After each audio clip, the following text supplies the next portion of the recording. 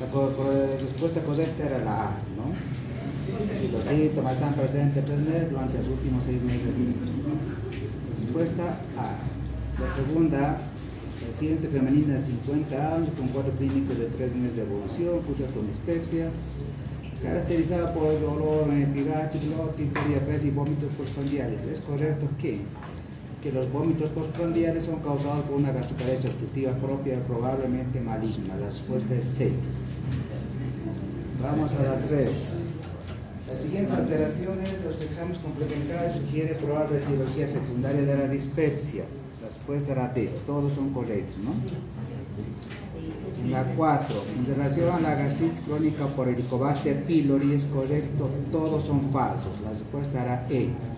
Todos son falsos. En la 5, en relación a la gastritis crónica atrópica, ¿es correcto? Todos son correctos, ¿no? En la 6, en relación a la úlcera gastroduodenal, ¿es correcto? Todos son falsos, ¿ya? En la 6 todos son falsos. En la 7, en relación a la úlcera gastroduodenal, ¿es correcto? La respuesta era B que la fisiopatología de la les da por una supresión de la somatostatina e hipergastrinemia. Era la respuesta B. En la 8, en relación a hemorragia digestiva alta, es correcto, todos son correctos. En la 9, en relación a hemorragia digestiva alta, es correcto, todos son falsos. En la 10, la respuesta correcta es B. Ya un sangrado digestivo alto existe inversión de relación entre la agua y la creatinina.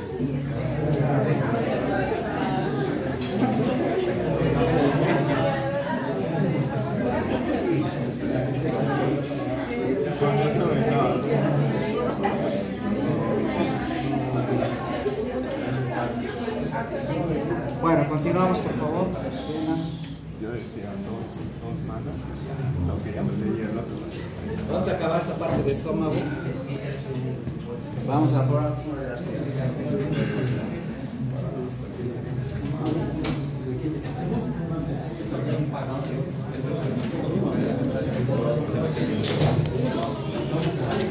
Bueno, vamos a ver una complicación que es frecuente en la emergencia, ¿ya? que que ver con perforación de víscera hueca. Claro, como el tubo digestivo es solo tienen dos entradas, no salir cualquier parte del tubo digestivo puede sufrir perforación, cualquier parte. Pero vamos a ver cuál es, eh, qué es lo que más se perfora, qué parte del tubo digestivo se perfora, cómo podemos diagnosticarlo y tratarlo. ¿ya? Y si esto es una emergencia quirúrgica, ¿ya? Eh, todos los días a la emergencia viene paciente, sí, perforación de víscera hueca, cirugía, pero vamos a ver en qué consiste. La perforación. En nuestro caso, la perforación de la úlcera duodenal es la complicación que vamos a ver acá, un poquito con mayor énfasis, ¿ya? porque es la segunda causa de abdomen agudo quirúrgico en la emergencia. ¿Qué dice que es la perforación? Corte que usted va a colocar falta, voy a lista al final, ¿ya?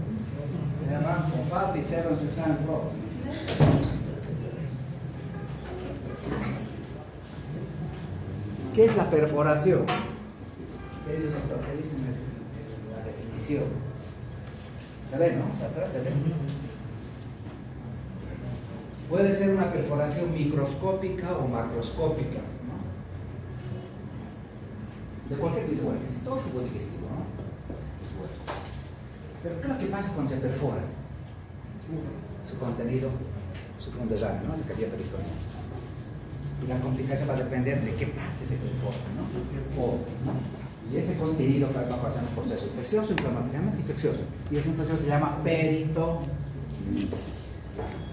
Ojo, se estima que entre el 5 a 10% de los casos de abdomen agudo se debe a perforación de víscera hueca. Y la principal causa que se perfora, la parte del tubo digestivo que se perfora, es la úlcera duodenal.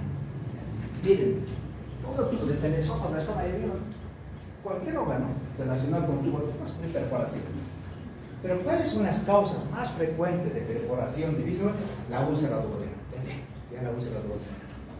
Después en el hospital, como esta mañana vimos válvulo, válvulo, los válvulos a veces complican, se perforan también, ¿no?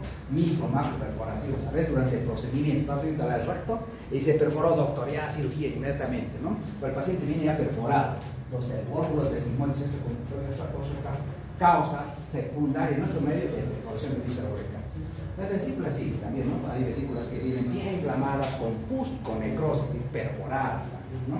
Con una peritonitis localizada. ¿Las diverticulitis se perforarán? ¿Qué dice? Sí.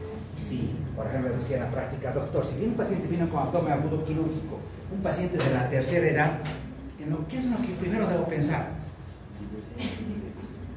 Más que en apendicitis, ¿Ya?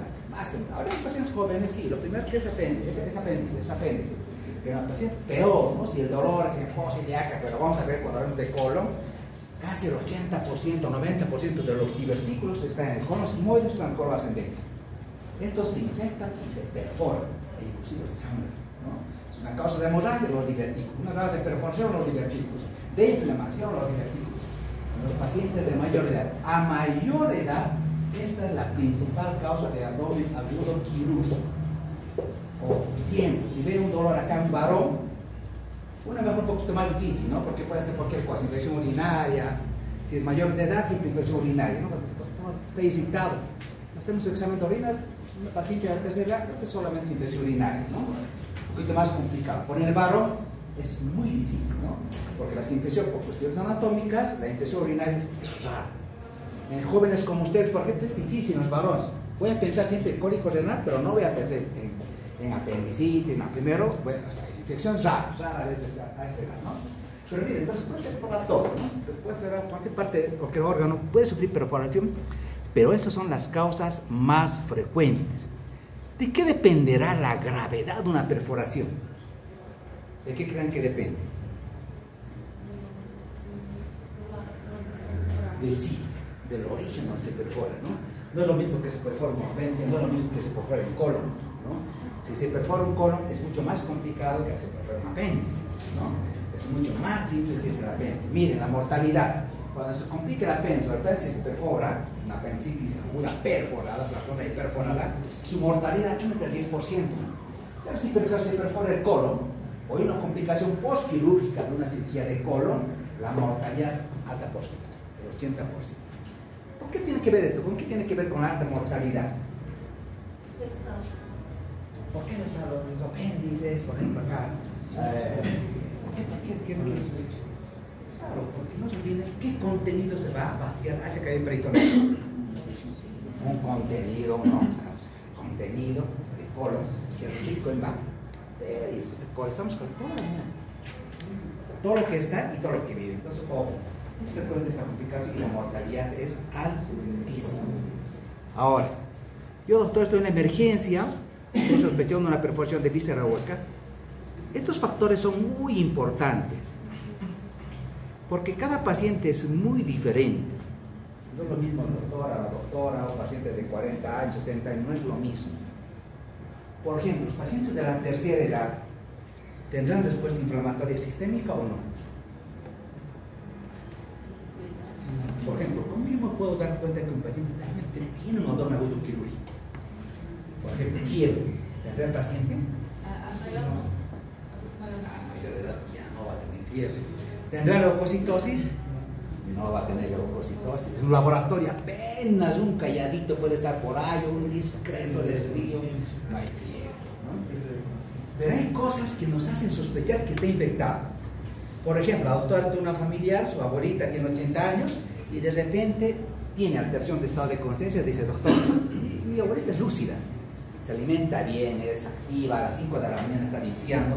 Pero ¿qué pasa cuando le da una infección urinaria? Se desorienta, al se desorienta, se pone inactiva, pierde el apetito, ¿no? Eh, y, ojo, eso no sigue, era, activa. Entonces los síntomas de infección son diferentes, no es que de fiebre, ellos son los trastornos neurológicos de comportamiento, desorientación, postración, falta de apetito, es infección urinaria ya se ha hecho diagnóstico de infección de un paciente de la tercera edad. Ojo, no esperemos fiebre. ¿ya? Le hace un laboratorio, puede que no haya leucocitosis, apenas discretos. Una paciente, por ejemplo, falleció, la mandó a un doctor joven. Doctor, vea, este paciente está teniendo más que un abdomen agudo quirúrgico. igual que ustedes, ¿no? Eso nos enseña a veces en, los, hospitales. Ah, pero leucocitos, aquí no hay leucocitos de 13.000, estos leucos están normales. Solamente había un discreto desvío de la izquierda, neutrofilia, un poquito de linfopenia. Pero los blancos estaban normales, no había callado. Y el doctor que dijo, no, no es un agudo quirúrgico, pero se dice el doctor. Cuando le revisa había un escaso dolor, ¿no? Después a la paciente ya, con los días que he hecho la tomografía, era una apéndice complicada. Ah, usted se ha confiado en el laboratorio, en la escasa clínica. Los pacientes de edades extremas que están con inmunosupresión, que tienen comorbilidades, no esperen tener altas respuestas inflamatorias. Primera recomendación, ¿ya? Porque se les van a morir sus pacientes. Ustedes están esperando fiebre, leucocitosis, Bloomberg, si bien intenso, casi nada. El paciente tiene otras alteraciones, otras manifestaciones, ¿no? Tengan mucho cuidado. Hay escasa respuesta a mayor edad. ¿Qué pasa con la perforación? ¿De qué, por ejemplo, perfora una, de ¿por qué es la visa que se, que se perfora? ¿Qué va a ocasionar? La presencia de bacterias en la cavidad peritonea va a ocasionar peritonitis, ¿no? Y hemos dicho en peritonitis, ¿cuántos tipos hay? Primaria, secundaria y terciaria, ¿no? La primaria generalmente es la que nosotros vemos espontánea, es la cirrosis, ¿no? La secundaria es porque hay muchas bacterias y la tercera es por tuberculosis, ¿no? Pues generalmente aquí esta es secundaria, porque tiene mucho microbios, ¿no? La gravedad de qué depende. Por ejemplo, si un paciente entra con abdomen, no se olviden que es una emergencia quirúrgica, eso pasa en horas, en días, ¿no? Llega al hospital 70 años, 60 años. ¿Cómo está ese viejito? Pocas veces va a funcionar un mal estado nutricional, tiene comorbilidades diabéticas, inmunosupresor, toma corticoides. No, ojo, depende de quién, no es lo mismo. Entonces uno tiene que ver estas cosas también para ver, ¿no? Si mi paciente tiene todo esto, yo tengo que ver ya empezando muchísimo. Enterar para enterar, ¿no? Uso de algún, ya que estar bien, ¿no? Antibióticos. Adhesión, tipo de, de gérmenes. No tenemos estudios epidemiológicos, ¿no? Por ejemplo, en el hospital ni acá ni Cochabamba no hay, ¿no? No sabemos, digamos, cuál es nuestra, nuestra incidencia por de germes, hospitalarios, estos no tenemos, ¿no?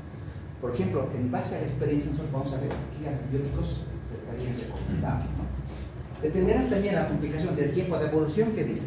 Sí. Claro, mayor tiempo de evolución que el paciente está.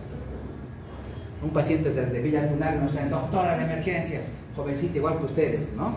Con apéndice complicado, perforado una semana se lo han tenido allá. ¿Cómo creen que ha llegado al hospital? Chocado, en shock. Con todo, con histericia, con piel marmórea, hipotensa, con compromiso neurológico, en coma.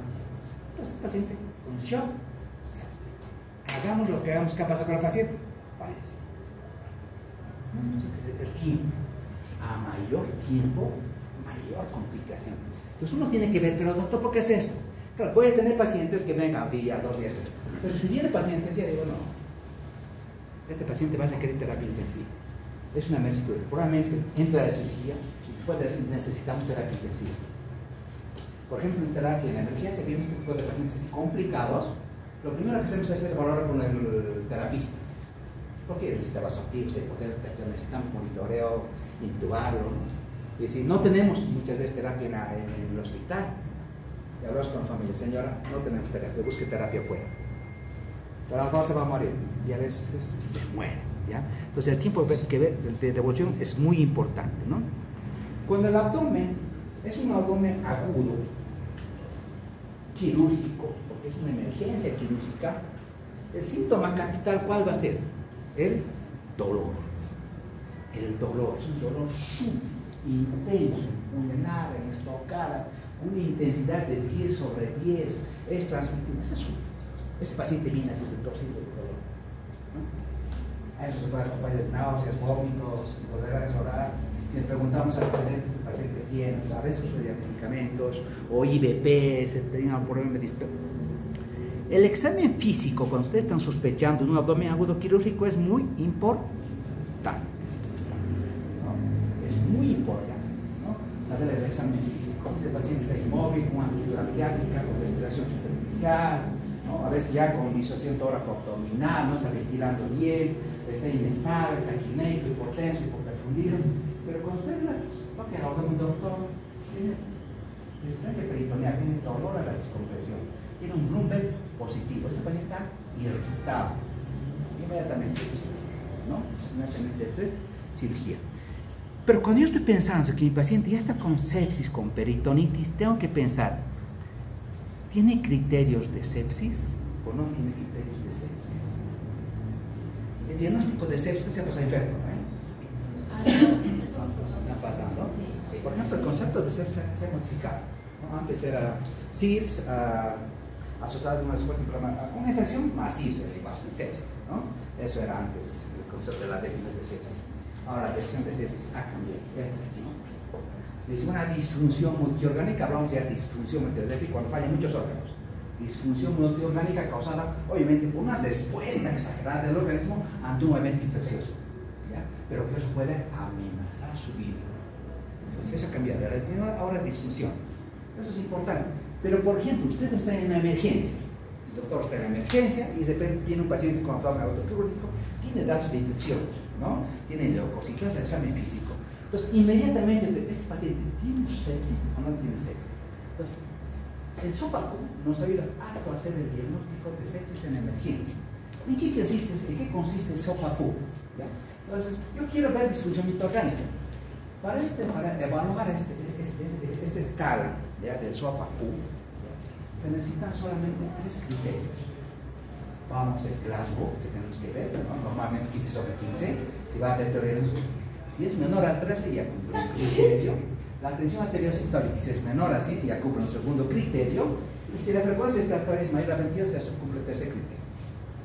Es decir, de estos tres, solo necesito dos criterios para hacer el diagnóstico de sepsis. Si me tenés hipotenso taquimnémico, ya he hecho el diagnóstico de sepsis. Si estoy sospechando que mi abdomen algunos quirúrgico será una sepsis de foco abdominal. ¿Ya? Sepsis de foco abdominal. De hecho, ¿cuántos criterios cumple el doctor? Dos, doctor. No, no tiene criterios, menos de los uno. Entonces hay que monitorizar. ¿no? O ya tiene, porque la conducta es muy diferente. Si no tiene sepsis, solo una infección, tal localizada, ¿no? Sistémica, que no tenga disfunción. Inclusive, ¿el uso de antibióticos cambiará o no? ¿Qué dice? Es con un paciente que no tiene sepsis, probablemente con sepsis vaya bien. Pero si mi paciente sepsis, no, le voy a dar imipenem, le voy a dar amicacina, voy a dar metronidazol. Cambia la conducta. Si está en shock séptico, ¿será lo mismo? No, tengo que ser mucho más agresivo con los antibióticos. O sea, el diagnóstico, lo que ustedes hagan, es importante. Por lo tanto, chicos, este SOFACU nunca se olvide. ¿ya? Este SOFACU, esta escala nos permite hacer el diagnóstico oportuno, rápido de la sepsis en emergencia. Dicen, hacer con los tres criterios no es difícil. Presión, frecuencia respiratoria y glaso. Ya se cumple dos hechos diagnósticos sepsis. El doctor tiene sepsis poco abdominal. Perfecto, ya he hecho el diagnóstico, no es complicado, ¿no? Y después, claro, hay que saberlo diferenciar de tres con shock séptico.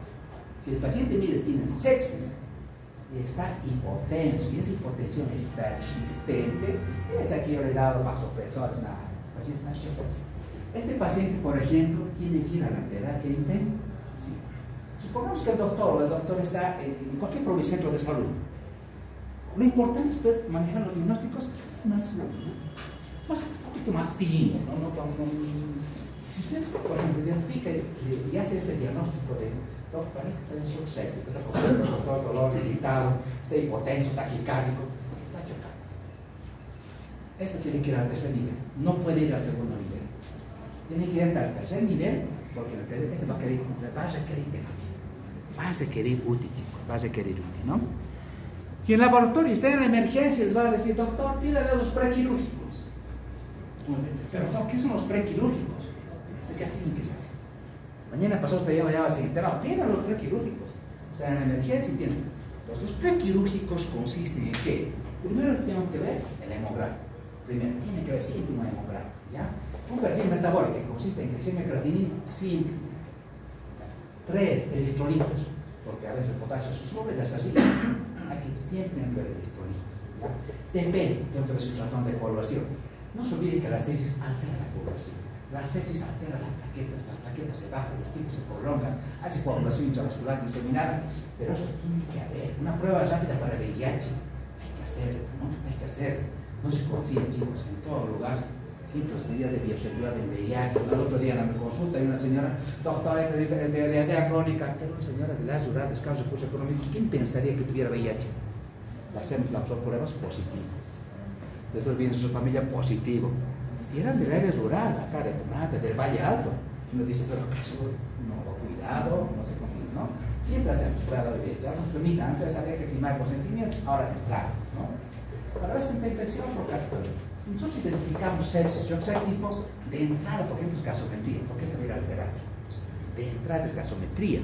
Y miren el hemograma, pueden encontrar en el hemograma esto. ¿Qué le llama la atención a este hemograma?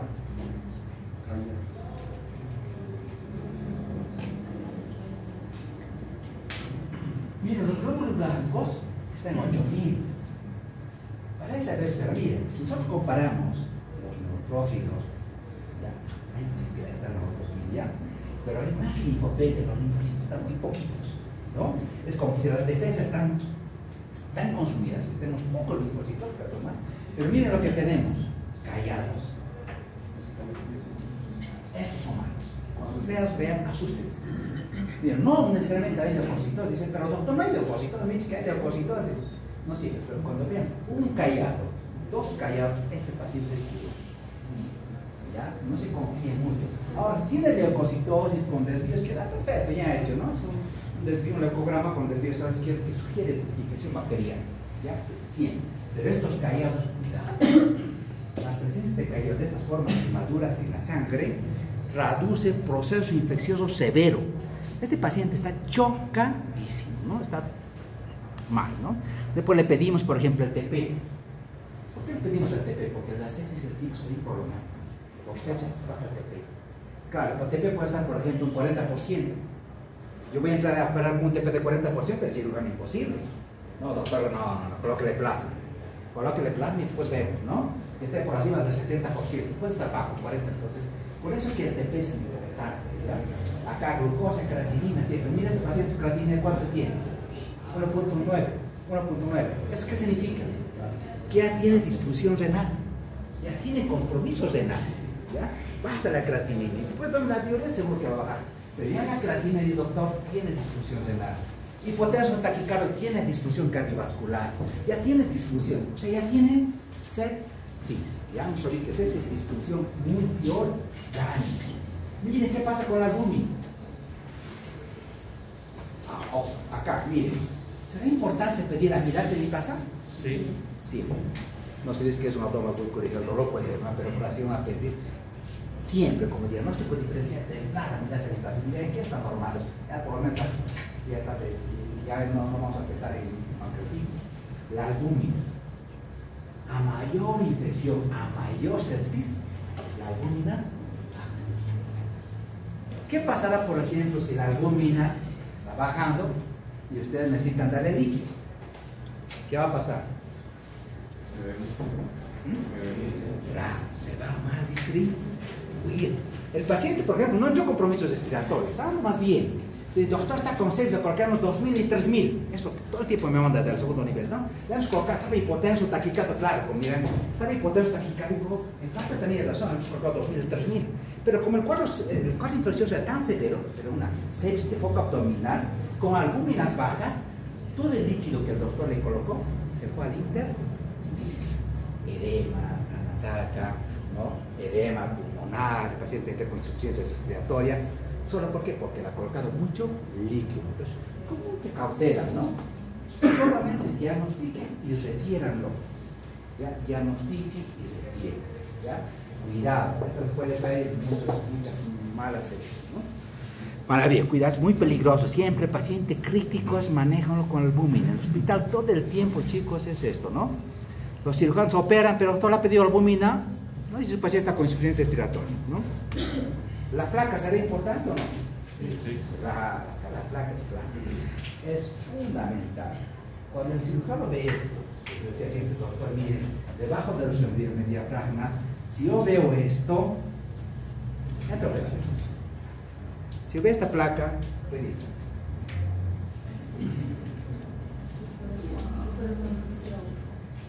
Es una perforación de corno. Se perfora el colon. Como, como tiene más aire, entonces estas imágenes, estas imágenes que están debajo, ¿dónde está esa perfora? Perforación de colon, ¿no? Acá, por ejemplo, mira, este aire subdiafragmático, perforación también. Se perfora una luz de este aire. Basta ver aire, tiene taquigrafía, no piden tomografía, nada, hay que echar a operar. Claro, mírense, si ustedes tienen un paciente con clínica de un abdomen agudo, tiene un laboratorio con leucos, con callados del 30%, tiene una placa con aire subdiafragmático, esta es una emergencia quirúrgica. Pero que ustedes identifiquen este aire, y peor, mire, está, está con hilo, está con niveles, está con hilo además, el paciente hay que interoperar, ¿no? hay que interoperar. Entonces, solo con el examen físico, con datos de excitación, con un ecograma patológico, con una placa de tórax de estas características, el cirujano dice, pasen a, por favor, quirófano. Muchas veces, raras veces pedimos el corazón. Confía, por ejemplo, un paciente que está con hilo, está meteorizado, ¿se puede ver algo? No, es difícil, está con no se ve nada.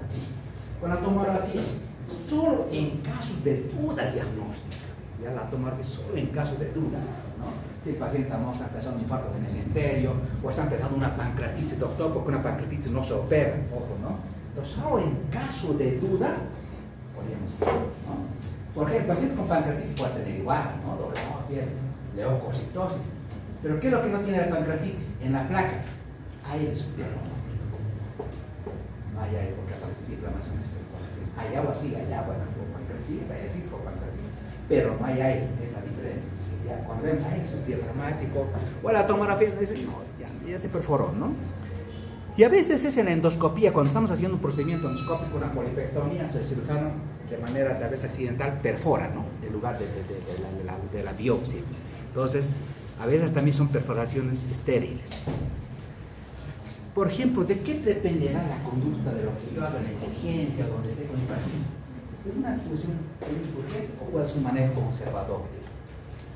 Si la perforación, por ejemplo, se ha suscitado en el hospital durante un procedimiento, ¿le opero o no le opero? Durante el procedimiento.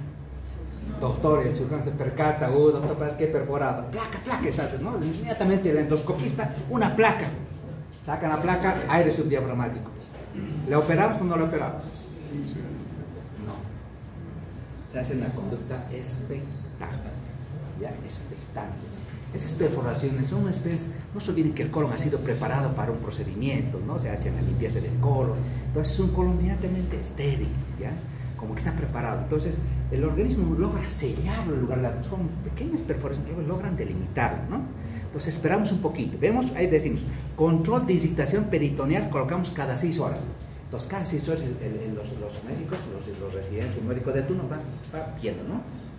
si el dolor va mejorando, si el paciente va empeorando, un control de laboratorio al día siguiente, otra plaquita la otra siguiente.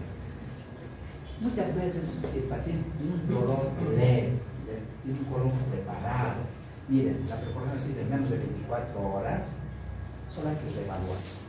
Hay que reevaluar. Y digo que es una institución. No necesariamente cooperar. Si podemos colocar, no ve eso, yo coloco una prótesis. No dice, solo he perforado, está haciendo una y le perforé pero voy a colocar una prótesis. Listo, la prótesis tapó la obstrucción, lo selló, lo selló la obstrucción. Y el organismo, por su parte, va a sellar también, ¿no? Va a sellar. Entonces, el tratamiento es conservador cuando se hace en una institución, cuando el paciente está preparado. Pero el tratamiento generalmente es quirúrgico cuando la perforación se ha suscitado en el medio extrahospitalar. Es decir, es equilibrado, ¿no? Controlar la infección. Inclusive muchas veces hacen dos tiempos. El paciente le hace un primer tiempo, una primera exploración, y así con la parotomía contenida, así solamente aproxima hasta, entra en la terapia intensiva. ¿Por qué? ¿Por qué no cierra? El cirujano, ¿por qué no cierra? Si está todo lleno de pus. Porque la primera limpieza no es suficiente.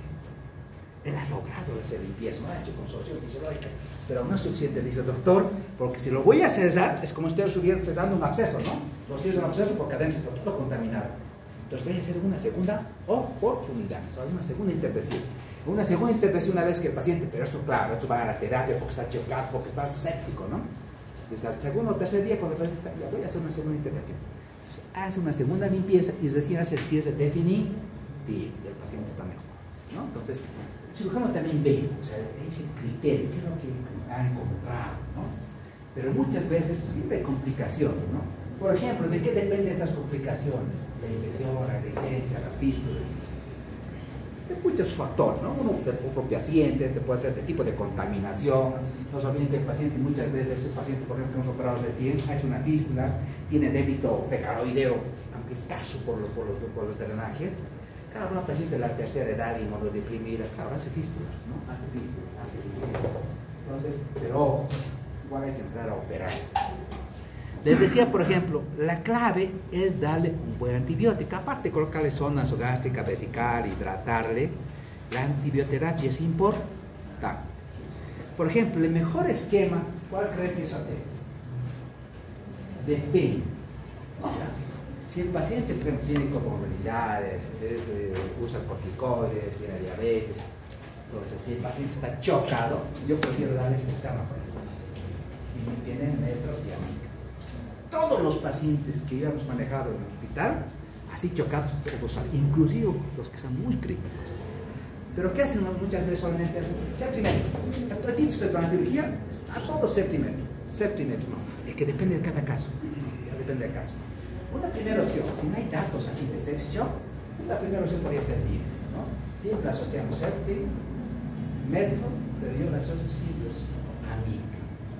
No se olviden que la mica es un aminoglucósico, aminoglucósico bactericida, te limpia todos los gran negativos, ¿no? El metro, los anaerobios, el otro gran, o sea, se potencia, ¿no? Se potencia. Entonces, me gusta, los resultados son muy buenos con amica, claro, con buena función renal, ¿no? Hay que tener mucho cuidado. Siempre, chicos, identifiquen esto, ¿no? ¿Qué pacientes se van a beneficiar de la obra? Si hay un diagnóstico oportuno, adecuado, si el paciente está en shock con disfunción multiorgánica, este paciente necesita UTI, ¿no? Necesita UTI, porque necesita soporte ventilatorio, renal, nutricional, vasopresor. Este paciente necesita UTI. Pero será lo mismo un abdomen agudo quirúrgico, un varón o una mujer, ¿qué dicen? ¿Qué pasa si la doctora entra con dolor abdominal? Y ¿Qué de diferente habrá entre un abdomen agudo de la doctora y un abdomen agudo del doctor?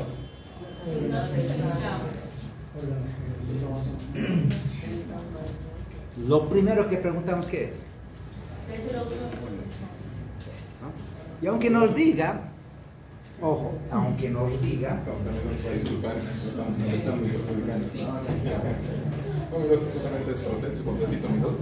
y dos planillitas de la modificación que inicio. No, se preocupe, voy a estar a las 11 en la oficina. Ya, no lo moleste, gracias.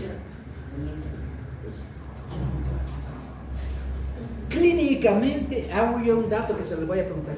¿Qué diferencia clínica hay una perforación del tubo digestivo una perforación, digamos, de, de origen ginecológico? Ginecológico, ¿qué, ¿qué es lo que no hay? ¿Qué, qué hay? El paciente tiene dolor abdominal, náuseas, vómitos, todo tiene, ¿no? Y el paciente de La mujer que no tiene, ¿tendrá vómitos? ¿Tendrá intolerancia oral? No. Ustedes ven la, los criterios de, de, de, Alvarado para apendicitis, lo primero que se pierde ¿no? es la intolerancia oral, uno no quiere comer nada y aparte que tiene vómito, ¿no? Cuando no es ginecológico, porque claro, pues no hay comunicación con el tubo digestivo, porque tiene dolor pero nada que ver, ¿no? No tiene esto. ¿El doctor ha comido, señora, comió hoy en la mañana? Sí, doctor, desayuné normal. Ah, bueno, no es digestivo, no tiene comunicación con el tubo digestivo. Entonces, eso de pérdida del apetito no lo tiene.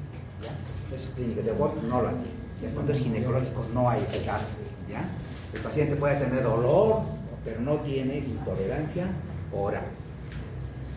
Cuando es mujer siempre, siempre de entrada pídale fracción venga, aunque les digan, ¿ya? aunque les digan, doctor, usted ha tenido relaciones que tiene pareja, siempre miente. Siempre. Hemos tenido serios problemas, ¿no? La emergencia. Las mamás que vienen con sus hijas, ahí, doctor, que no sé qué. No, nunca, mi hija, imposible. ¿no? Le hacemos una ecografía, hemoperitoneo, pero señora, no. No, no, no, imposible. Traiga el laboratorio, fracción beta positivo. Señora, le hacemos una pulocentésima, ¿no? Sangre. No, eso es más un ginecológico y siempre pídales, ¿no? Como recomiendo, siempre, siempre piensen en una mujer de edad fértil, embarazo, siempre. descarga, impide. Vean la fórmula obstétrica, eso es muy importante. ¿Qué pasa? ¿Está cansando esto?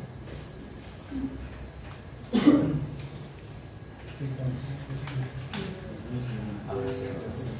Ay, ¿qué pasó?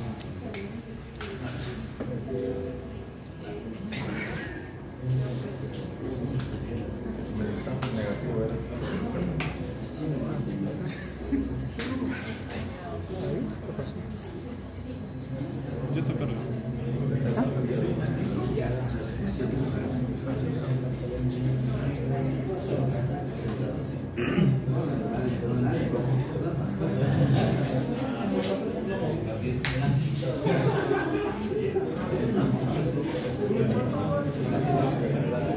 Bueno, vamos a ver esta última parte, chicos. Vamos a ver, eh, acabamos con este estómago, vamos a ver del cáncer gástrico, ¿no? Uh, cáncer, esto. ¿Cuál creen que en los hospitales es la principal causa de cáncer? En el hospital. En todo el tubo digestivo, ¿cuál creen la principal causa de internación por cáncer? Cáncer gástrico. Cáncer gástrico. ¿ya? Lamentablemente se están peleando entre el colon, colon, recto, colon y el estómago, ¿ya? Son la principal causa. Pero ustedes dirán, ¿pero por qué, doctor, tenemos harto cáncer gástrico? Ah, ya lo saben. ¿Por qué, doctor, tenemos harto cáncer gástrico? Claro, porque la prevalencia de infección, doctor, en nuestro medio es del 80%. Por lo tanto, como estamos tan infectados, la probabilidad de que tengamos cáncer también es altísima. Quizá acá más que en otros lugares, porque nosotros, chicos, a mí me da pena por eso, a todos los pacientes que vienen de 30 años, 40 años del, del área rural, gente de escasos recursos económicos, de entrada les pido a veces endoscopía. Y logro identificar cáncer. 30 años con cáncer, 35, 40 años con cáncer.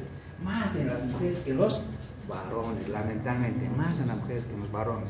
Pero vienen con, con cánceres avanzados. Así no podemos hacer nada. Quimio, quimio. Plata la matan con la vesícula, las mujeres con la vesícula, ¿no? Por cáncer de billar vesículas, muy frecuente.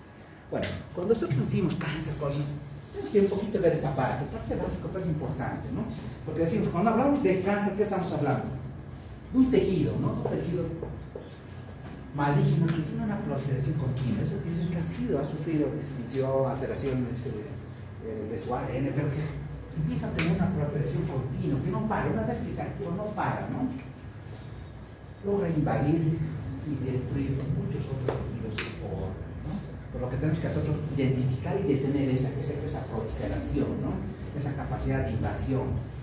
Muchas veces solamente podemos detenerla con quimio y la radio, pero una vez que comienza eso va. ¿no? Vamos a ver que el origen del cáncer en general, el tubo digestivo, depende. Siempre les pregunta, doctor, los cánceres del tubo digestivo en general, ¿de qué estirpe? ¿Cuál es su origen? Siempre van a preguntar, ¿no? Y en el 90% de los cánceres son, son de estirpe epitelial. De estirpe del 90. Los adenocarcinomas del colon, los adenocarcinomas del recto, adenocarcinomas del vesículo, adenocarcinomas, todos tienen un estirpe epitelial. Por digo, los cánceres, el 90% su, su origen es el epitelio. Es algo que tienen que saber siempre, lo van a preguntar de qué estirpe, de qué origen, de qué tejido se origina el adenocarcinoma o el epitelio. Claro, hay otros cánceres que tienen otros orígenes, por ejemplo, ¿no? los linfomas de los sarcomas tienen otro origen, los tumores por ejemplo, los tumores neurológicos, los melanomas de los melanocitos, tienen otro origen, ¿no?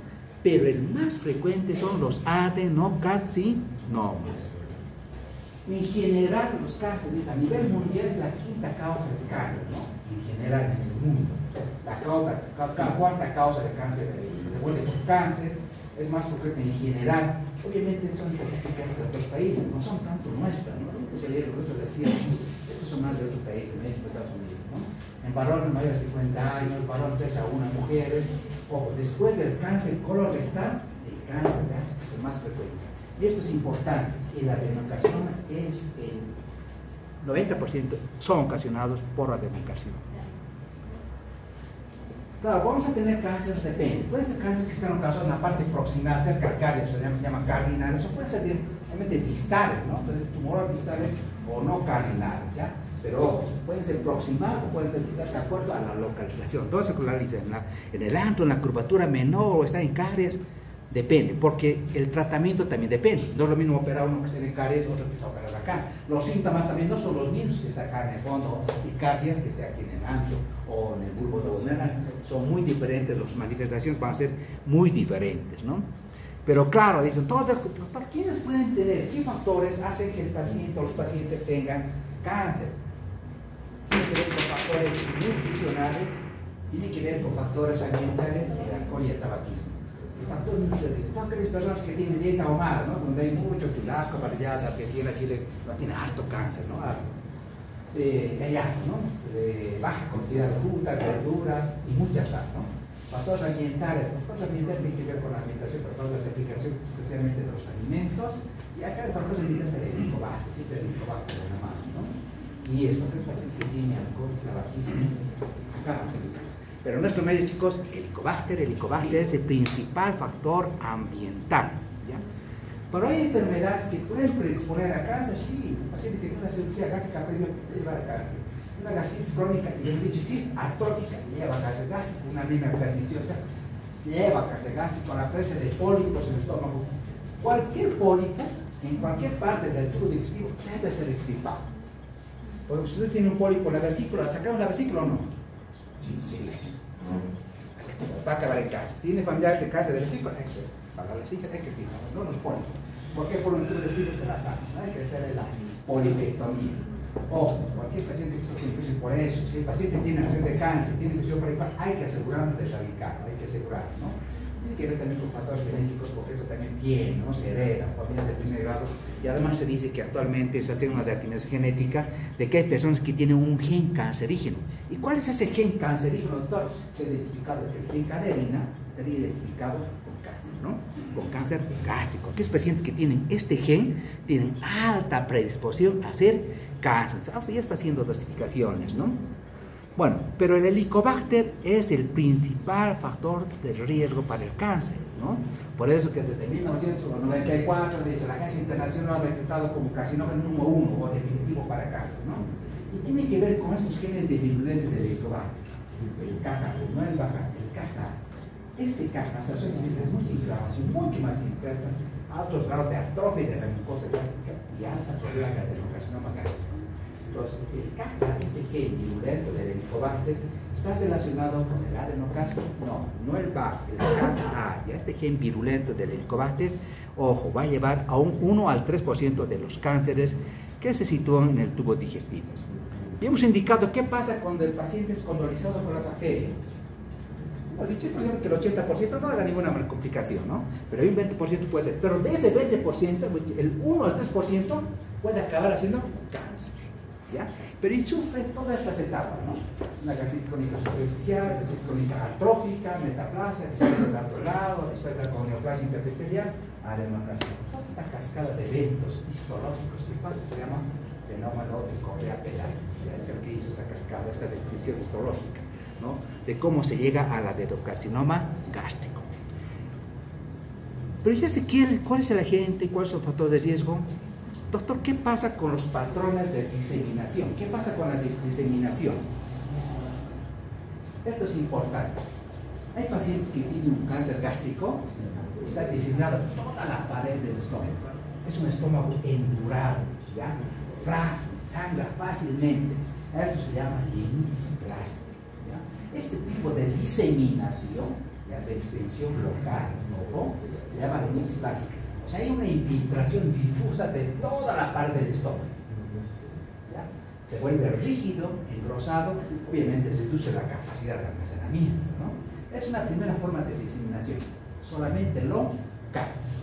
Imagínense, si nosotros tuviéramos un cáncer solamente con una diseminación local, tal vez la gastrectomía podría ser curativa, ¿no? si solamente es local, pero si ha dado siembra ya no es suficiente, ¿no? la gastrectomía no es suficiente puede haber diseminación local, ¿no? Si no hay siembra, podría ser la gastrotomía parcial o total una opción. Pero también hay diseminación linfática, ¿no? A través del sistema linfático, esas células malignas pueden desplazarse. De manera regional alrededor del estómago o pueden ir a distancia, ¿no? o metástasis a distancia, ¿no? puede hacer siempre, ¿no? Por vía linfática puede hacer siempre. Por eso cuando ya se, a mayor compromiso de la mucosa, su mucosa, ya hay diseminación linfática, pues ya, ya la, el tratamiento temprano ya no es suficiente, ¿no? Pero también otro tipo de diseminación. ¿Puede haber una diseminación hematógena? Claro. A través de las células tumorales van a ser siempre diferentes órganos. Pero siempre les preguntan, ¿cuáles son los órganos donde el cáncer gástrico hace más metástasis? Principalmente el. ¿Ya? Si les pregunto, ¿cuál es el órgano donde más metástasis se hace? El hígado. Después vamos a ver pulmón y huesos. ¿Ya? ¿Por qué es importante esto? Porque yo, si ya se siembra al pulmón, tengo que pedir una tomografía de tórax. Como es más abdominal, abdomen. Pero no solamente hace siembra hematógena a ese nivel, ¿ya? a sus órganos. Miren, hará siembra a ovario, Y es una pregunta clásica de todos los exámenes de las residencias preguntan, ¿no? El cáncer, dice, no, las células tumorales, ojo, puede ir a peritoneal, sí, hace una, se hizo una carcinomatosis peritoneal, hace siempre peritoneal, ¿ya? Compromiso Pero miren, cuando se produce metástasis a ovario, cuando el cáncer da metástasis a ovario, por ejemplo, hay un marcador tumoral, es que es el CA125. Si el CA125 sale alto, el cáncer está en ovario. Pero puede ser no solo primario, puede ser secundario a la metástasis. Esta metástasis de un cáncer gástrico a ovario se llama el tumor de Brucker. Pues está bien, se salta ahí. Esto es, es pregunta siempre de examen, ¿ya? La metástasis ovario, ¿cómo se llama? Tumor de Kruger, tumor de Kruger. Bueno, vamos a ver el diagnóstico. El diagnóstico entonces va a ser clínico, va a ser radiológico, Vamos a la parte clínica. ¿La clínica de qué depende? De la etapa de cambio. ¿no? Si es una etapa tardía, de una etapa temprana. Por ejemplo, el paciente puede ser de por dice, puede estar asintomático, ¿no? No tiene mucha manifestación, da unos síntomas de dispepsia, pero puede empezar a tener, depende de dónde esté localizado el tumor, si es proximal o es distal. Si es, por ejemplo, proximal a nivel del cardias, ¿cuál será uno de los síntomas? Dispagia no va a poder va a tener, ¿no? Es como que está obstruyendo la entrada hacia el estómago. Pero si fuera distal, ¿cuál sería el principal síntoma? Empieza a tener qué síntomas? De distrés postprandial. ¿Cómo se llaman los síntomas de distrés postprandial? Empieza a tener llenura precoz, empieza a tener plenitud postprandial y vómitos postprandiales, porque está obstruyendo la salida o el vaciamiento gástrico pues está la lesión, y después le dice, doctor, no doctor, ¿cómo y lo vomito? Y claro, y vas a ver un paciente que tiene esto enflaquecido, ¿no? Y entonces hecho el diagnóstico de cáncer, ¿no?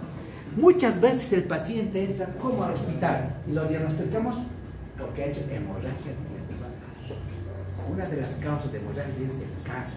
¿no? Vemos una úlcera, doctor maligna, grande, bolsas regulares, cáncer gástrico, ¿no? Un tanto, hemorragia. A veces la manifestación es eso, ¿no? otras partes de calle de personal, pero síndrome de espaciamiento eso debuta con hemorragia digestiva alta. Si el paciente ha hecho siembra, ha hecho diseminación a todos los estos que antes, que a veces se ve, puede, puede ser real también, ¿no? El nódulo de vitrio, dice un nódulo supraclavicular izquierdo, ¿no? Un nódulo de vitrio, un nódulo de iris axilar anterior, entonces ya hay metástasis cutáneas, ¿ya? Entonces van a poder encontrar el nódulo de a nivel periodical, o es cuando está avanzado. Pero, ¿el hemograma les ayudará o no? Sí. El hemograma, la anemia, tenemos que ver, por ejemplo, hay una anemia de las enfermedades crónicas, la anemia. Para ver yo si es una enfermedad, una anemia de una enfermedad crónica, inflamatoria, endocrinológica, ustedes quieren, neoplásica, ¿qué tendría que pedirle? El perfil de hierro.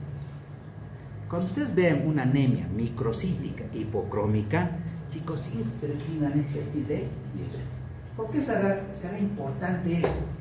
¿Por qué? Imagínense, yo tengo la anemia, los dos tienen anemia microcítica hipocrómica.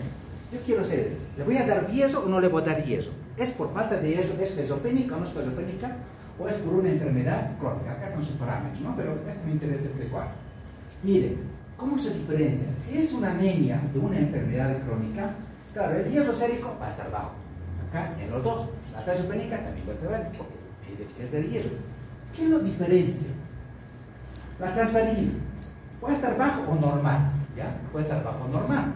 Claro, pero la ferropénica, como hay falta de hierro, esa siempre está alta. Ya la transferina, la que la transporta el hierro, siempre va a estar alta. ¿Por qué? Porque hay necesidad de hierro. Pero ¿qué es lo más importante? ¿Qué es la diferencia? La ferritina. Los depósitos de hierro en un paciente con enfermedad crónica están altos o normales. En cambio, en pacientes con anemia ferropénica, sus depósitos están bajos. Ese sí se quiere ojo hierro. Entonces, tú puedes dar sí. De hecho, tengo una anemia microscópica, le hago el perfil de hierro y veo, ah, no, tiene estos criterios, ¿no? Tiene hierro bajo, transferina alta y ferritina baja. A esta edad hay que darle hierro. Ahora, si tiene todos los tres elementos bajos, digamos, los globos rojos, los globos blancos, plaquetas, ¿en qué van a pensar?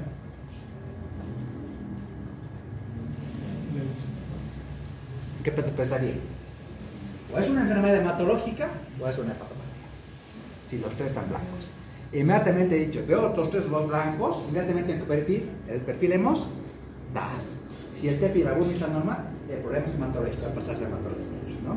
Pero siempre esto, esto, es bueno. Ahora, en cuanto a los marcadores tumorales, esto o sí o sí tiene que ser. Porque este les va a orientar más o menos el sitio donde está, ¿no? O puede ser el primario o puede ser el lugar de la metástasis, ¿no? Imagínense, si yo tengo un antígeno carcino embrionario, el paciente ha venido, por ejemplo, por, pérdida de peso, ¿no? por astenia, pérdida de peso, enflaquecimiento, ¿no? y le hago una sangre oculta, me sale positivo, voy a pedir marcadores tumorales. Y me, si me sale el CA, el antígeno carcino embrionario alto, el problema es cáncer colorectal. ¿Ya? Si el antígeno carcino embrionario está alto, el problema es cáncer colorectal. Si por ejemplo veo la alfa fetoproteína, si la alfa fetoproteína está alta, el problema es hígado. O ha hecho siembra, o ha hecho metástasis que ha hígado, o el primario es hígado. Entonces me sirve para ver compromiso, dónde está el primario y el secundario. Entonces esto se va a disparar. Por ejemplo, como decía, este paciente siembra a ovario, lo voy a poner en el CA125, me sale positivo, ha hecho siembra ovario. Probablemente tengo un tumor de Krukenberg, ¿no? Cuidado. O me he hecho un CA19.9. En los cánceres gástricos, este es el marcador que normalmente se eleva y nos sugiere que el problema doctor o es pancas, o gástrico, o vía entonces, solo con este marcador, ¿no? Y este marcador que últimamente estamos incorporando, la beta 2 microglobulina. Le pedimos beta 2 microglobulina. ¿Cómo está su beta 2 microglobulina? Está alta, doctor. Ojo, descartar mieloma, linfoma, leucemia. Pues esto te indica qué pico, ¿no? ¿Dónde está el problema? Claro, en el varón es el PSA, ¿no? Antígeno prostático para del Entonces, estos marcadores son importantes a la hora de nosotros ver tumores primarios, secundarios también del tubo digestivo o metástasis la radiografía. Vamos a hacer, por ejemplo, ¿la radiografía nos ayudará o no? Mire, una radiografía simple. ¿Qué le llama la atención esta radiografía? ¿no? Ya entra el diagnóstico. ¿Qué es el gastroparía ejecutiva? Pérdida de peso, cáncer. Entra el diagnóstico. Mire, todo esto, todo este paciente tenía un estómago así. Está bien, todo esto es estómago. Mire, aire, aire y agua, aire y agua, ¿no? Todo este el estómago acá, la cúpula está más alta que esta otra, el lo está protruiendo porque el estómago está dilatado a tal extremo que está a tensión, ¿no? Está a tensión. Le coloco una sonda nasogástrica, débito, ¿no? Débito de contenido gástrico, doctor, alimentario, no digerido, mil, dos mil, tres mil, cantidad de líquido, ¿no? Entonces dice, el problema está Una placa simple nos va a ayudar, nos va a sacar eh, a veces nos va a dar las luces de dónde está el problema. Otros estudios, claro, vamos a solicitar, por ejemplo, hemos dicho con el esófago, ¿no? ¿Le puede pedir una ecoscopía? Claro, porque la ecoscopía, no se dice la endoscopia, el ecoscopio, lo que va a ver todas las capas de la pared del estómago, va a ver mucosas, mucosas musculares cerrosas, va a ver ganglios, inclusive, entonces la ecoendoscopia es fundamental para estabilizar Y después vamos a ver, claro, la tomografía, ¿no? Mira esta visión, la tomografía endoscopía, esa pared de estómago bien dilatada, con nivel con paredes rosadas, con toda la pared dice, ah, esto es limite plástica, o ya he hecho metástasis, la tomografía sirve para estadificar en estadios tempranos, ¿ya? Mire, esto es la endoscopía y te dice, no, hay compromiso que uno sobre mucosas, mucosas, oscura, y una, para este cuatro, le todo, todo, ya es compromiso, inclusive extra, extra intestinal, ¿no? Otra extra gástrico, trazado toda la pared. Acá las, todas las metástasis, o esto es para Si Yo tengo, por ejemplo, una tomografía, compara, basta ver esto, digo, este no dio cuenta, no hay nada que hacer. ¿Qué vas a hacer con este paciente? Nada, solamente tratamiento de dolor. A veces, por ejemplo, se obstruye la vía biliar, le colocamos prótesis, ya nada, no hay mucho que hacer. Este paciente tiene un pronóstico malo a corto plazo, va a fallecer, ¿no? Tiene cáncer muy avanzado. ¿Será que necesitamos hacer una laparoscopía diagnóstica, entrar y ver, muchas veces tomar biopsia? Hoy ha entrado, estamos haciendo, hoy ha entrado justamente un paciente que lo trajeron del BNI, había tomado una biopsia en el caño, después le tomaron una biopsia en el final, pero era adenocarcinoma. Y el oncólogo dice, doctor, pero quiero saber el primario. No sé si el primario, la química tampoco fue concluyente. Entonces dicen los cirujanos, vamos a hacer una laparoscopía diagnóstica. O sea, vamos a entrar adentro y vamos a tomar biopsia en la cavidad abdominal, ¿no? No se confíe en la tomografía, ya cuidado con la tomografía, a veces nos dan falsos positivos, ya, o escasa información. ¿Cuántas veces, chicos, cuántas veces hemos operado y nos decían, doctor, es un cáncer? No, cáncer. O otros nos dicen, no, solamente parece que solamente se localizado, no hay nada, es esto. Entra el cirujano y todo estaba tomado. Ya, es decir, entra doctor, ¿qué he hecho? Doctor, reclámele a su imaginólogo porque decía solamente estaba en colon, que estaba en la pared. Abrí y cerré. ¿no? ¿Por qué? Porque todo el abdomen congelado, todo estaba diseminado. ¿no? Y en muchos casos al revés. ¿no? Dice, doctor, tiene un cáncer en la vesícula. Y quiera, no era cáncer de la vesícula, solo un absceso perivesicular. ¿no? Y la señora, de, miedo, no cáncer, cáncer. Nada, solamente. O sea, la tomografía puede ayudar, pero no siempre de clínico, no siempre, ¿ya? Entonces, la vez la cirugía, esta laparoscopía diagnóstica, permite tomar biopsias, ver en el campo operatorio lo que está pasando, ¿no? Es importante. Pero claro, el diagnóstico definitivo lo va a dar la, endoscopía, ¿no? no solamente va a, ver la lesión, las características de la lesión, la va a biopsiar. Muchas veces hemos visto así lesiones y el doctor, el resultado, mira esta lesión. Pero doctor es una úlcera grande, maligna, maligna. Es cáncer, ¿no? Es cáncer pero resulta que la biopsia llega y dice, resultado negativo para malignidad. Pues ya, ¿qué hacemos ahora? Pero, pero esta imagen es, cáncer. Nueva biopsia, sugerimos otra nueva biopsia de los bordes de la lesión. Hemos hecho hasta tres biopsias, biopsias sobre biopsias. Y en la tercera, decir, sale positivo para malignidad. ¿no? A veces hay que insistir, ¿no? Otra vez, doctor, no, poca muestra, muy poquito, no, no se ve. Ahora ya tenemos inmunohistoquímico, ¿cómo se pueden ver un poquito más? Pero a veces tenemos que hacer tres biopsias, tres biopsias, ¿no? Pero a veces cuando estamos haciendo endoscopía a pacientes que tienen síntomas de gana, o vómitos, hemorragia, a veces nos encontramos con estos chicos, ¿no?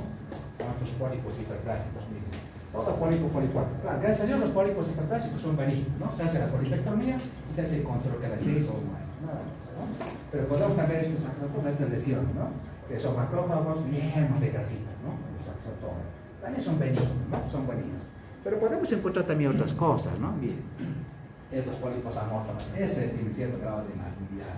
O puedo tener una poliposis juvenil, un PHA, esto ya pólipo todo tubo digestivo, ¿no? Tiene estos altos riesgos de cáncer, altos riesgos de cáncer. Los endoscopistas están trabajando a cuarto en tratar de correlación la endoscopía con histología, ¿no?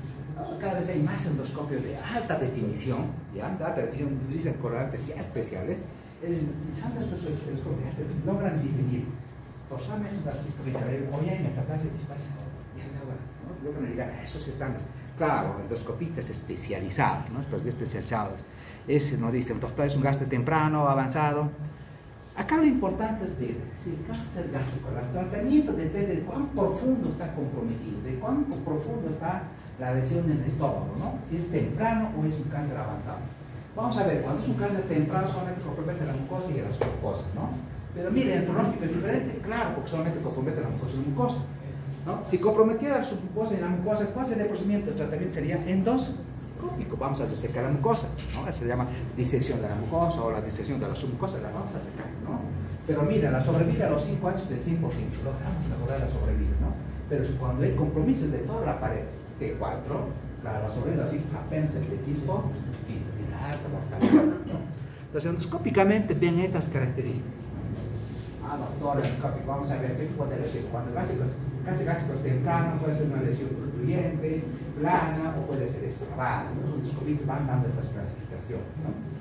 Y lo otro que siempre les preguntan es en los exámenes, ¿no? Cuando ustedes vayan a hacer su especialidad, van a preguntar esto, ¿no? Según la clasificación de Borman, entonces, ¿qué significa? La clasificación Borman es lo que veíamos, ¿no? Es ulcerativo. La Borman es, además de ser ulcerativo, está infiltrando la pared. La 4, Borman 4, todo infiltrativo. Generalmente manejamos en el hospital, no tanto la clasificación japonesa de la pared, esta es la está manejando. La clasificación Borman 1, Borman 2, Borman 3, Borman 4, por las características de la lesión, ¿no? Y obviamente una vez que vemos esto, ¿qué vamos a hacer? Histología, pues tenemos que hacer la biopsia. La biopsia te va a decir, doctor, es adenocarcinoma, ¿no? Es adenocarcinoma, o es un linfoma, es un tumor de estómago, o es adenocarcinoma. El 90% es ocasionado por el Helicobacter pylori. Y dentro de la histología, chicos, esto es importante también.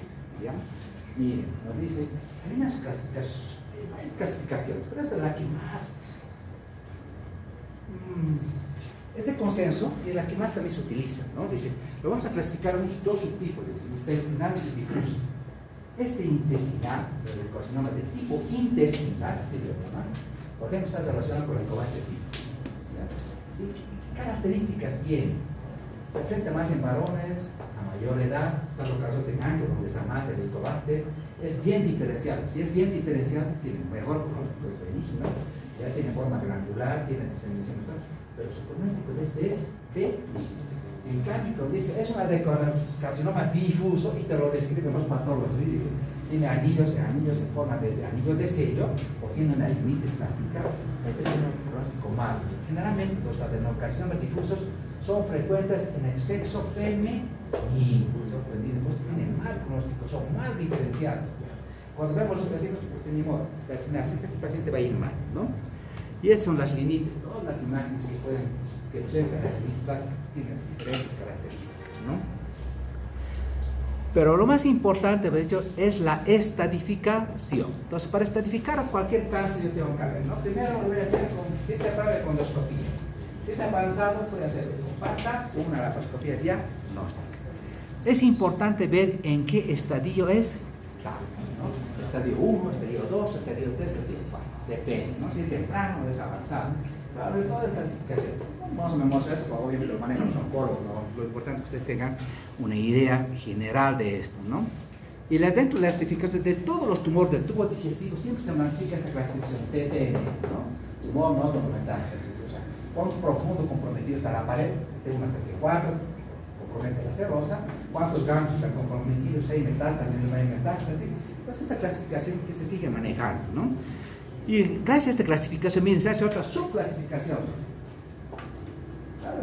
Para ver más la profundidad. Vamos a ver una imagen que, que es importante para ver si es T1, T1A, T1B, T4, T4A, T4B. Pues obviamente lo manejan los especialistas para ver la profundidad de, y ver el, el, el, el, tratamiento que ellos van a hacer, ¿no? Si hay compromiso ganglionar, ¿no? si hay compromiso en el 1, en el 2, en el 3, ¿cuántos gramos se comprometen? Interesa, ¿no? Si el paciente ya tiene metástasis a distancia, ya ha tenido T4, tiene N3 y tiene N1. Este paciente tiene un estadio 4 de metástasis. Para hacer metástasis ya compromete toda la pared, ya tiene varios ganos comprometidos, ya no tiene metástasis, ¿no? Si hay metástasis es un estadio 4. Y en general los clasifican en cuatro estadios, estadio 0, estadio 1, estadio 1, estadio 2, estadio 3, estadio 4. El estadio 4, por ejemplo, ¿no? dice, es una etapa más avanzada, ya su peor, obviamente es peor. Este metástasis a distancia, decimos, es un estadio 4, porque no hemos hecho la tomografía, no este metástasis ahí, metástasis a pulmón, peritoneo, cáncer gástrico en estadio 4, listo. Ese es el diagnóstico, estadio definitivo, ¿no? ¿Y qué le hacemos? Depende. Miren este gráfico que encontré ayer, estaba revisando una pregunta. ¿Qué les parece? Este es un gástrico gástrico temprano, ¿no? Es, se está manejando los japoneses. Japón se hace harto de esto, ¿no? Ellos trabajan, tienen harta preferencia de cáncer gástrico. Les llama la atención esta imagen. Miren, ven histopatología, el tamaño, el grado de diferenciación, el compromiso entre la mucosa, su mucosa muscular y la celosa. Ellos ven, digamos, voy a hacer una mucosectomía, o voy a o sea, solamente sacar la mucosa, voy a sacar una disección su mucosa, le voy a sacar toda su mucosa, obviamente con técnicas de un personal capacitado. Entonces dicen, doctor, miren, ¿no? Ven, si la mucosa, ¿cuán comprometida está? Solamente una tercera parte, dos terceras partes, tres terceras partes, entonces se van viendo. ¿no? Lo mismo en la submucosa, está comprometida. Una tercera parte de la submucosa, dos terceras partes de la submucosa, tres terceras partes, pues van clasificándola, ¿no? Pero miren, cuando ya hay compromiso, dice hasta T1, ¿ya? T1, M3 más, T1, ya hay compromiso, ya hay compromiso de cambios. Dice, ya hay metástasis, ojo, dice, ¿no? Pero tengo que estar seguro.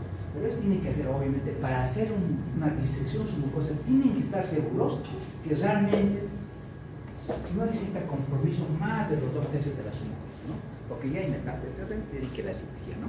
Entonces, si el compromiso del cáncer gástrico es temprano y hay criterios para hacer, entonces, ¿qué se hace? La disección mucosa endoscópica, obviamente, la disección o la resección. En los estadios tempranos es lo ideal. Pero cuando está avanzado, ¿qué le vamos a hacer? Depende. Si la decoración es localizada, puede estar localizado en ano, ¿no? ¿Qué le voy a hacer? Una gastrectomía subtotal, le voy a sacar todo el ano, ¿no? Eh, y voy a hacer una unión, ¿no? Una gastro y una stomosis, ¿no? Si es de cuerpo, ¿qué le voy a hacer? Le voy a hacer una gastronomía total, más una esófago y enostomía en y ¿no? O después de sacarle todo el estómago, le voy a conectar el esófago con el y ¿no? Eso ya es con el compromiso de cuerpo. ¿Qué pasa cuando el compromiso es de cardio, es de fondo? ¡Wow! Le voy a, hacer, le voy a sacar todo el estómago, gastronomía total, le voy a hacer una esofagostomía distal, la parte del distal del esófago, y voy a hacer una anastomosis, esófago y enostomía en y ¿no? Depende, la cirugía va a ver, ¿no? Obviamente, esta cirugía también es algo paliativa, ¿no? O operativa asociada a quimio. Pero si está diseñado, depende si es operable o no es operable. Si es operable, es cirugía, ¿no? Para ver las cosas. Si no es operable, si es operable, sí, puedo ver las complicaciones, las obstrucciones o el sangrado, ¿no? Si está diseminado y no es operable, entonces solamente se hace la quimioterapia. Si está localmente avanzado y si es operable, gastrectomía subtotal, gastroenostomosis, después quimio y radioterapia. En general, depende del estadio. ¿Es temprano, avanzado, tiene indicaciones quirúrgicas o no? O solamente tiene algo paliativo. ¿no? Muchos cirujanos están tendiendo a hacer, digamos, a la cirugía, primero hacer una quimioterapia neoadjuvante, es decir, hacer quimio antes de la cirugía, para detener el crecimiento del tumor y una vez que se ha detenido se ha delimitado y no ha crecido, entonces sobre eso y evitar la diseminación ¿no? de las células malignas tumorales, hacen primero la quimio. Entonces, caso, cuando es prequirúrgico se llama neoadjuvante. ¿ya? Cuando es después del cirugía con la cirugía se llama adjuvante o coadjuvante. ¿no? Entonces se asocia quimio más radioterapia. Vamos a hacer inmunoterapia. Pero obviamente, miren, el manejo de estos pacientes no es un solo médico. Lo hace un equipo multidisciplinar. En el infierno, por ejemplo, tenemos un todo complejo. Hay un equipo que está formado con un patólogo, un oncólogo, un cirujano oncólogo, un imagenólogo, o sea, todo un equipo y ellos lo que definen, ¿no? ¿Qué tipo de conducta se va a tener, ¿no? Quirúrgica, quirúrgica más algo, más quimio, más radio, o solamente dicen, no, doctor, ¿para qué vas a hacer algo? Colocar una prótesis, está en estenosis, colocar una prótesis. A las prótesis permiten, ¿no? En el esófago o en el duodeno solamente que tenga tránsito, ¿no? Entonces, si nomás, por ejemplo, había un paciente con cáncer de, de, de duodeno, de la segunda porción, como estaba con una obstructiva, creo que le, le hemos colocado una prótesis metálica. La prótesis metálica le permite alimentarse. Y eso no hay más que hacer, ¿no? Si hay compromisos de la vía vía, prótesis en la vía biliar, ¿no? Y más nada. Entonces solamente se hace algo paliativo. Listo chicos, con hasta acabamos estómago y la próxima hacemos páncreas. ¿ya?